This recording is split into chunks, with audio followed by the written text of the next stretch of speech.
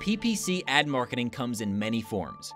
Retargeting, however, may just be one of the most effective. Retargeting, sometimes referred to as remarketing, is an extremely beneficial method of online marketing. You see, instead of simply posting ads geared towards a general pool of potential customers, the company delivers the ad to someone they know has an interest in a particular type of product, or just visited a particular website and didn't make a conversion.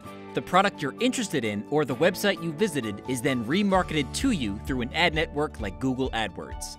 A well designed remarketing campaign can lead interested buyers right to your storefront or bring previous visitors back to your website, increasing sales and growing your business in a major way.